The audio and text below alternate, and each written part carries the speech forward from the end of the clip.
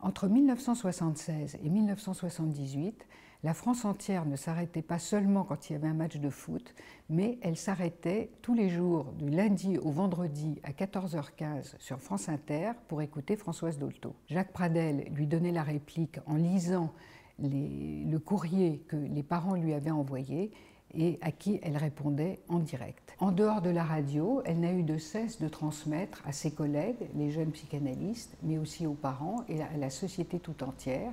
ce que les enfants dont elle disait qu'ils étaient ses maîtres lui avaient appris. Elle a été extrêmement critiquée